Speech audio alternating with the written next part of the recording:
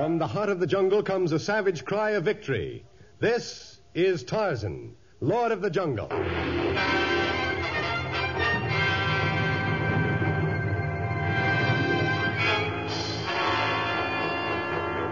From the black core of dark Africa, land of enchantment, mystery, and violence, comes one of the most colorful figures of all time, transcribed from the immortal pen of Edgar Rice Burroughs Tarzan, the bronzed white son of the jungle. And now, in the very words of Mr. Burroughs, the story of the Demon of Rongu.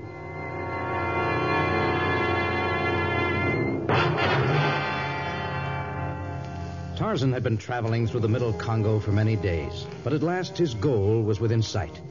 Perhaps there was still time to prevent the threatened war between the people of the Punya tribe and the warriors of Rongu. But as he entered the Rongu village, his heart became heavy. The council ring was filled with warriors, and in the center, devil dancers whirled in mad abandon, shaking their juju sticks and grimacing hideously through the thick white paint that covered their savage faces. Surely this was a dance of war, and once again the Congo would be dyed with the redness of native blood. Bas! Bas! What do Rangoero? Ah, Kitako. Santa, mighty chief.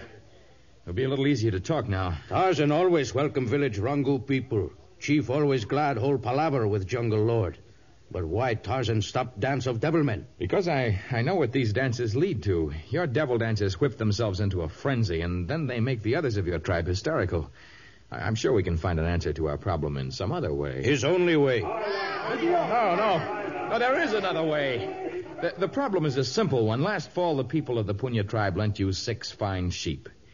And the agreement was that you were to pay them back in kind after the lambing season. The deal is right. But you failed to live up to your part of the agreement. The lambs were never repaid, and you have given the messengers from Punya only feeble excuses instead of their due. Rangu people not have lambs to give back. And so, in place of lambs, you prepare to send arrows and assagais into the Punya village. Sio, we not make ready for war. Well, then, then explain this dance and your devil masks and your fetish signs. Is to chase demon. Oh, but but you you all know better than that. The missionaries have taught you that demons do not exist. The doctor I once brought here proved that the sickness you blamed on demons came from bad drinking water. And I've often shown you. This time is demon. Come in night. Rob Rongu village. Wood for fire. Hide for clothes. Is cause demon kill lambs. We not able pay back punyas. I see. And this demon who kills lambs couldn't possibly be a panther or, or a lion with a fondness for fresh meat? Tarzan stay village Rongu people tonight. He see demon come like wisp of smoke, move fast like Ara, a lightning, kill with strength of thousand demons.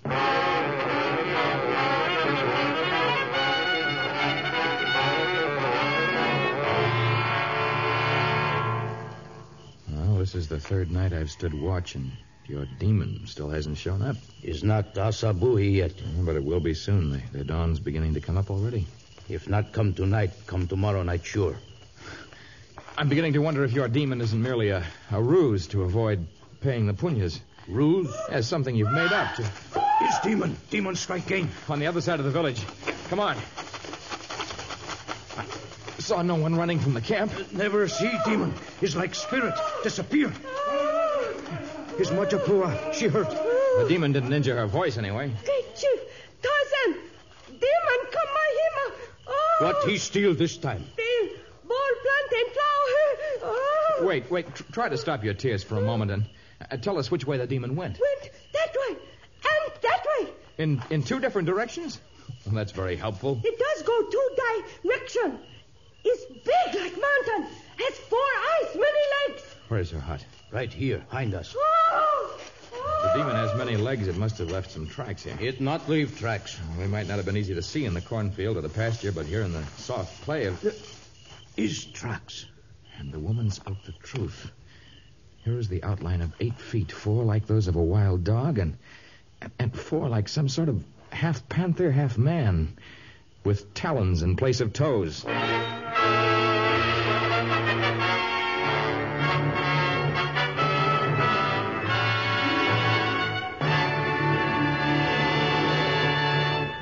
In just a moment, we learn what befalls Tarzan when he pursues the demon of Rongu into the cave of the giant spiders.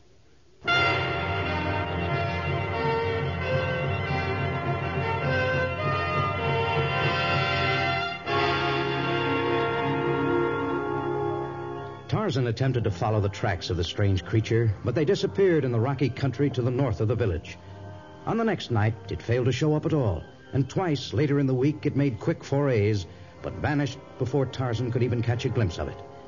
Now, as the Congo night descended once again, sentries took posts in every nook and cranny of the village, and the vigil continued through a long and sleepless night.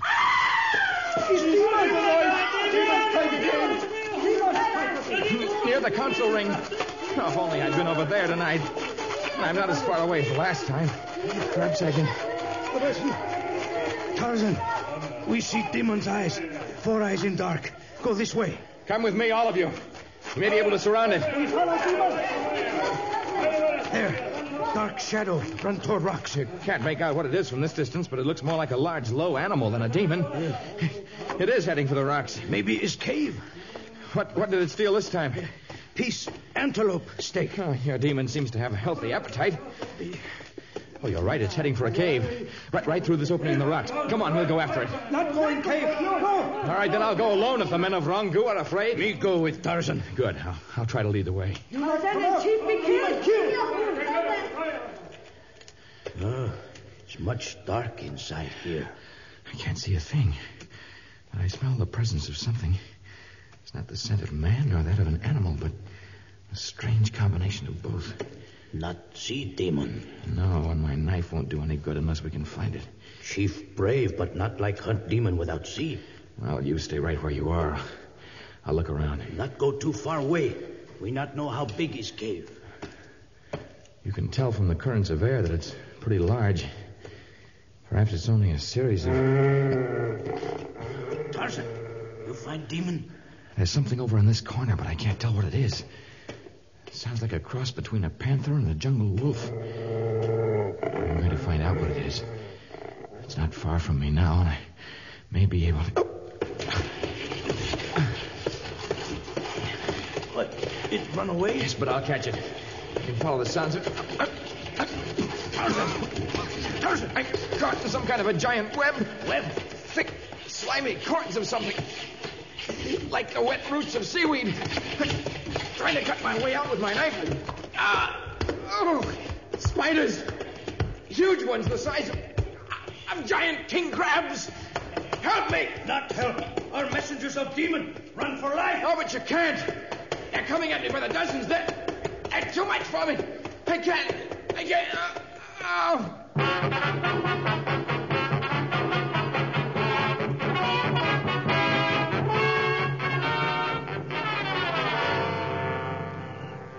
Men keep watch for demon again tonight. See, Sio, here's no use. Men of Rongu tired. Tarzan dead. Soon Punyas make war, cause sheep we not pay back. Let demon take what it want. Maybe move village, go other place. Demon have curse on tribe any place we go. He follow. In morning hold Shari. Warriors of Rongu decide. Tarzan! Yes, it's, it's Tarzan. We think you're dead. I, I am more dead than alive. It was a nightmare fighting those hairy insects, But that last night, where you are since then? hunting for your demon. Those caves go for miles and miles, but I, I kept after it all day long. I caught a tiny glimpse of the thing once, scurrying along the ground. Later, I almost caught up with him, but he, he slipped through a crack that was just about an inch too small for me. I don't know how he managed to slip through it. He? I guess I begin to think of your demon as being almost human. At any rate, it's got a mind that's more cunning than any animal I've ever met. But I haven't given up yet. I have a plan. Plan? Yes, you told me that before I came he stole other things, but since I've been here, the only thing he's got away with has been food, and not too much of that. In the last few days, all he's managed to get was a bowl of plantain flour, a few ears of kaffir corn, and a small piece of antelope meat. Nidio. He's right. So he's probably hungry. Well, this time he's going to find a nice fat goat waiting for him in an open field. Our last goat. No, the demon won't touch it. I'll be in a tree less than 50 yards away, and I'll have my bow and a quiver full of arrows at my side. But if Tarzan misses. I'm, I'm going to grease my body from head to toe.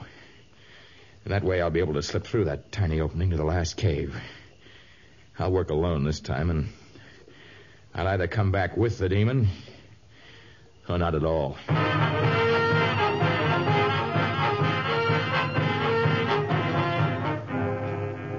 It was a cold and moonless night, but this time Tarzan did not have long to wait. From his hiding place in the trees, he could see a shadow creeping close to the bait. Tarzan waited until the last desperate moment, and then he raised his bow, fitted an arrow, and fired.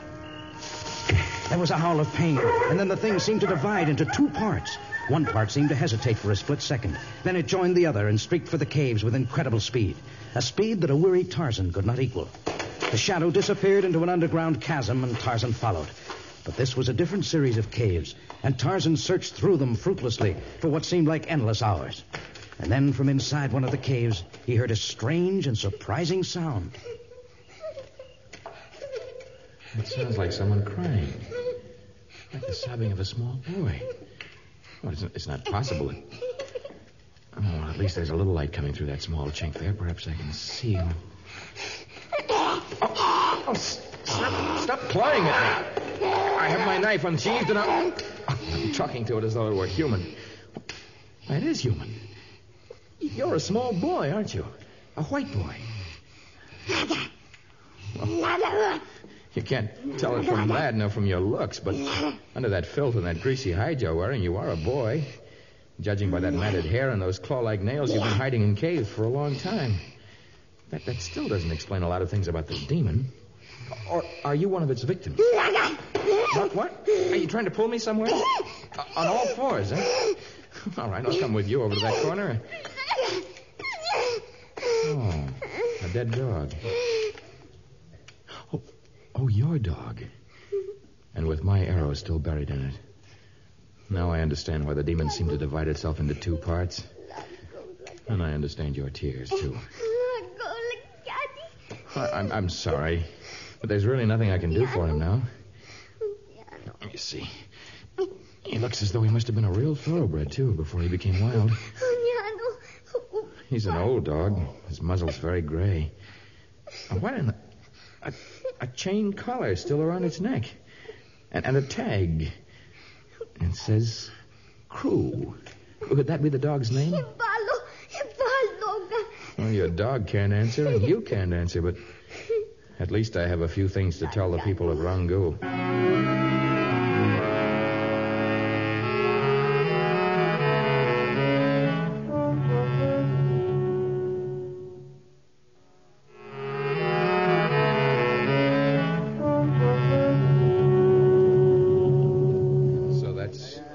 Complete story. This is one half of your demon. We uh, we buried the other half back near the cave where he died. Dog always right back of boy. Boy go on all fours. That's plain four eyes, eight feet. But if he in cave many years, why just start steal our food few moons ago? Dio, tell us. Oh, he probably only migrated to this section a short time ago. He's been roaming like a jungle animal, always in quest of food and a place safe from larger animals. He was either lost in the jungle when he was an infant, or if he ever knew how to walk erect and to talk, he's long since forgotten it. What you do with thing you call boy, Tarzan? He's not a thing I, I call a boy. He is a boy. One who's no wilder than I was when I was his age and lived among the apes. And he has the capacity for tears, too, so he's still very human. His claws will have to be cut, and he needs a, a good bath, a haircut, and a clean animal skin to wear, but I shall do these things for him. And I shall teach him to walk and to speak the language of other white men. Why, Tarzan? Why you do this? For his sake, and for my own. I, I shall take him to my seacoast cabin, and he shall be a son to me. I shall call him by the Swahili word for son, Mawana. You go now? Yes, yes, I'm leaving. For you're now free from your demon, and you can plant your food and, and save and repay the people of Punya, and thus avert your war. Come on, Moana. Tarzan, watch out. He might and scratch you. Don't- Don't that, Moana. I know that your violence stems only from fear, but you have nothing to fear from me. You not make real boy of him. He spring on you in sleep one night. Dio, he kill you. Oh, you may be right. Perhaps the jungle has left a permanent mark upon him from which he can never recover. But I shall do everything within my power to make him normal, and only when or if the task is proved impossible will I take him to the mental hospital at Dakar.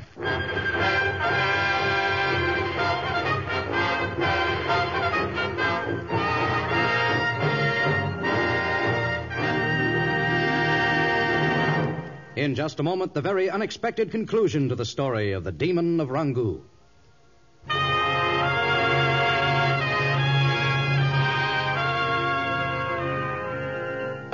Tarzan required the help of two of the Rongu's strongest warriors to hold the strange panther boy while he scrubbed away layers of filth.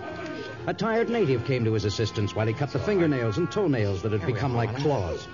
And even with four of them holding the small savage, cutting Moana's long, matted hair and forcing him to wear the gorilla skin suit the Rongu women had made was an almost impossible task. But at last, Moana emerged as a fine looking young white boy whose animal like growls now seemed quite out of keeping with his appearance. But he accompanied Tarzan without too many protests until, after many days' travel, they had reached the seacoast. All right, Moana, I'll come that way. Only it's quite a few miles further to my seacoast cabin by that path. What? Along the shore? All right. Oh, no, no, no, Moana, not on all fours. Men walk on their feet. That's right. You see, it's not any harder to walk that way. No, no, Moana, let's not head in that direction. There's nothing but big rocks over there. We can make better time by. by... All right, have it your way. Well, at least I can't complain that I found a son who has no will of his own. You know, Moana, we're going to have lots of fun together. I'm going to teach you. Moana, come back here. Moana, don't run away. Don't you know by now that I'm your friend? He's a fast little devil, but I'll catch him. I'll catch him. It was the last thing I. Oh, he's stopping. Moana, that's nothing but the hull of an old boat that must have been wrecked many, many. Oh, skeletons. Two of them. What are you trying to tell me, Moana? Oh, all right, I'll, I'll have a look at them.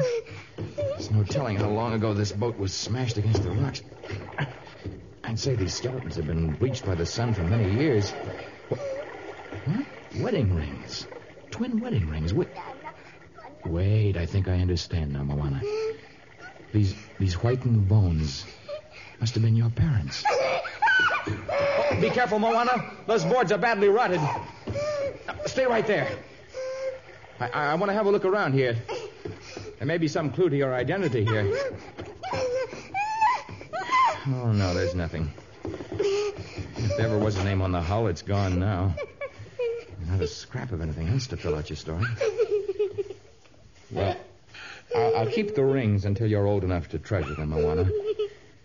All we can do now is to give them a decent burial. I'm, I'm sorry, Moana. Now I'll really have to be a father to you.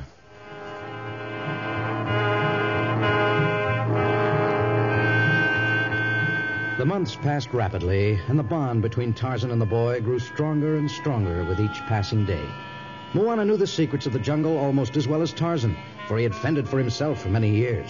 Together they swam in the deep lagoon, took long walks through the forest, hunted and fished, swung through the upper level, and raised their voices in exultation.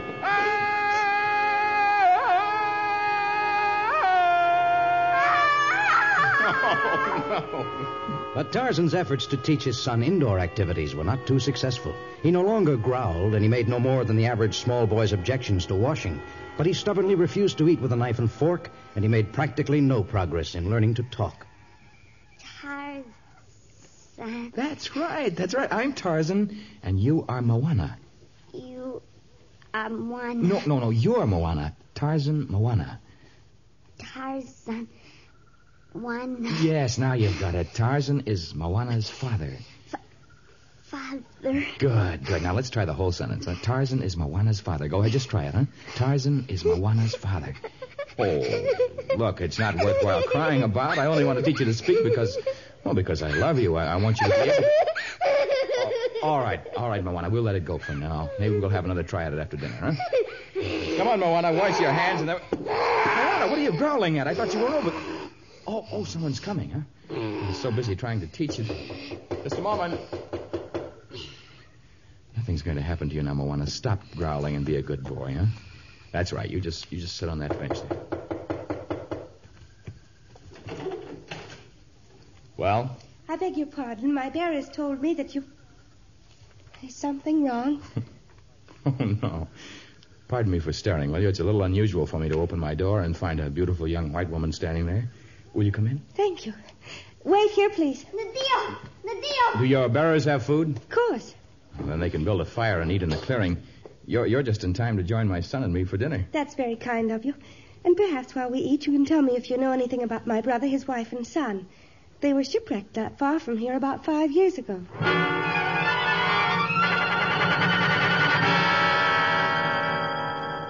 Oh, no, please, Moana. That's Miss Hanley's meat. I'll, I'll give you more if you want some. Like a tiger. There you are, Moana. Oh, no, no, no, not with your hands, please. He has all the instincts of an animal. Here in the jungle, we have great respect for the instincts of animals. Oh, I'm sorry. I merely meant. If, if it's all the same to you, we won't discuss my son any further, huh? Miss Hanley, it seems strange to me that you waited five years before you decided to search for your brother and his family. Five years ago, I was 14 years old. I could hardly have come halfway around the world on my own, even if Father had given me the money. Well, it seems strange that he didn't come to find his own son and grandson. He did everything he could under the circumstances. He died last month, and I came here as soon as I was able to get some money from his estate. Of course, the estate can't really be settled until we know what happened to Tom and Norma and their child. Oh, I see. So your real interest is not in finding them, but in finding proof of their death so you can inherit all their money. Do you know something about what happened to them in their boat? Or not? I. I don't know. Many small craft have been wrecked on the African coast. It would be one chance in a million. What would be one chance in a million? Your being able to identify two rings I have put away over here. Don't growl at me, Moana. I won't hurt you. Can't we be friends? There are probably thousands of wedding rings like these made every day, but Tom and Norma's rings, I'd know them anywhere. Tom had them made, and I went with him when he picked out the design. Tarzan, where did you find them? in, in the wreckage of their boat. They'd both been dead a long time when I happened to see the boat. Well, I'll, I'll sign some sort of a paper you can take back to settle your estate. And the baby, little Tommy. What about him? He. He was dead, too. I, I have some paper if you want me to. to... No. No. Money isn't important now. I don't know what I was hoping for after all these years, but somewhere in the back of my mind, I kept thinking that Tom and Norma had to be alive. I guess I was wrong about your motives in coming here. You, you loved them, didn't you? Everybody loved them. The crazy nuts. They were the most wonderful, crazy people in the world. Who else would have bought an old 40 foot boat and tried to go around the world in it? Just the three of them in a 40 foot boat? Yes. Tom called himself the skipper. Norma the first mate. They called the baby the second mate. And they had a dog they called Crew. Crew. Crew. Crew. Crew. He, he's crying for his dog, Miss Hanley. I know. I think I knew almost from the instant I walked in. He's the living image of Tom. I'm sorry I lied to you. I, I misinterpreted your motives in coming here, and I. Well, I didn't want to lose a son. I might have explained things more fully. Father had all sorts of searches made. You see, the reason Dad didn't come is that he had a stroke when the news of Tom's disappearance reached home. I've been taking care of him ever since then, and now I'd like to take the second mate home and care for him. He's happy in the jungle here with me. But he should have special teachers who'll know how to bridge those lost years, Tarzan. When he's had his chance, he can decide for himself whether he wants to live in civilization or return to the jungle. Oh, Gonna Will, will you come back, Moana? Will you come back to me? Tarzan. Father. Love.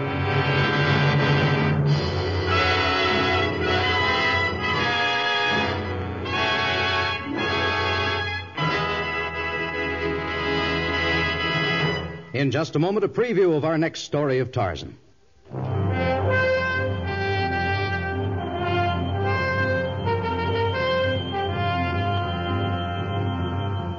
Deep in the heart of the Belgian Congo is the native village of Boua. During the day, it is like most other villages. The men hunt for meat, the women cook and sew, the children laugh and play. But at night, Boua becomes a place of fear. Men lie sleepless upon their mats, women quake in terror, and children cry out in their sleep. All of them wait for the dread coming of the Simba Hodari. Included in our cast were Jack Moyles, Virginia Gregg, and Dick Beals. Tarzan, a transcribed creation of the famous Edgar Rice Burroughs, is produced by Walter White, Jr. Prepared for radio by Bud Lesser with original music by Albert Glasser. This is a Commodore production.